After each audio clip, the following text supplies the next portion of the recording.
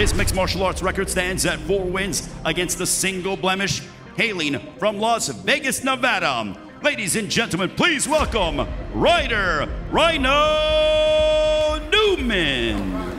His mixed martial arts record includes 14 wins against four losses and one draw. Hailing from Jersey City, New Jersey. Ladies and gentlemen, please welcome Emmanuel Yeah, these guys both carry a lot of punching power. Walking him down. Ryder Newman, the Rhino, charging forward. Oh, beautiful left hook by Walo.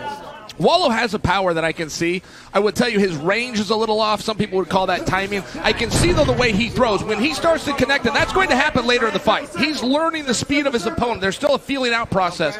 I could see Walo getting some pretty big shots in coming in the next round. Uh, they can kind of turn things in either one's favor, but a great approach and a great shot in there by Ryder Newman. Well, and this is going to change the match. This is what Henry was just speaking to, going for that takedown. You do not have to get the takedown. That's what a lot of fighters miss.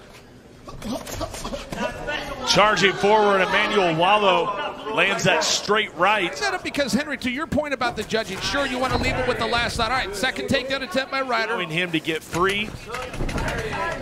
And can he connect those hands? Can't quite get the grip. I'll tell you, Chael, Ryder has not taken his foot off the gas this entire fight. I mean, this has been the story of the fight. The whole reason that Ryder's got Walo pushed back up against the fence, which looks good for the judges when all else is equal, was predicated on a takedown attempt. It failed. He traded it for something better. Or for something else. That one counted. There it is. Snaked the legs, uh, snaked up the legs Khabib style. This is on control. Well, he's putting a bow on it right now, Henry. Yeah, he really is, man. He's really putting that cherry on that cake.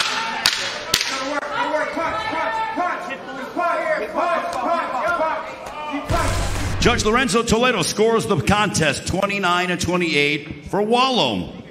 Judge Hector Gomez scores the contest 29 and 28 for Newman. And Judge Eliseo Rodriguez has the contest 29 28 for your winner by split decision. Ryder Rhino